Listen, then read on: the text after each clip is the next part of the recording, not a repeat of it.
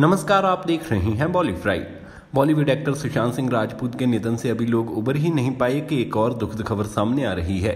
सुशांत की तरह ही Marathi film industry के जाने माने एक्टर आशुतोष बाकरे ने आत्महत्या कर ली है।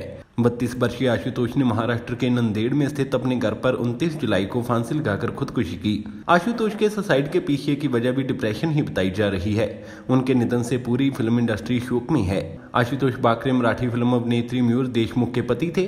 आशुतोष के इस कदम से पूरे परिवार पर दुखों का पहाड़ टूटा है। हालाँकि अभी तक ये बात साफ़ नहीं हुई है कि उन्होंने आखिर किन कारणों से ये कदम उठाया। पुलिस के मुताबिक आशुतोष के माता पिता जब बुधवार को दोपहर गणेश नगर इलाके के फ्लैट में आए तो उन्होंने अभिनेता का शव फंदे से लटका पाया।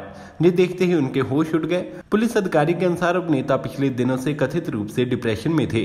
फ़िलहाल मामले की जाँच की जा रही है। आपको बता दें कि आशुतोष बाकरे ने बाकर और इचार ठरला पक्का जैसी फ़िल्मों में काम किया है। उन्होंने साल 2016 में एक्ट्रेस म्यूरी देशमुख से शादी की थी। दोनों अपनी शादीशुदा लाइफ में काफ़ी खुश थे।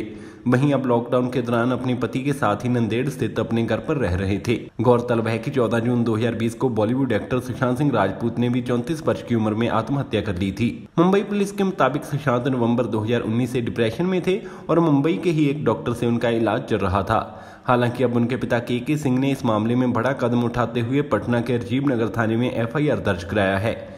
जो एफआईआर उन्होंने सुशांत की गर्लफ्रेंड रिया चक्रवर्ती और उनके परिवार के खिलाफ करवाई है। फ़िलहाल के लिए इस वीडियो में इतना ही। और बड़ी जानकारियों के लिए हमारे चैनल को सब्सक्राइब कर लीजिए।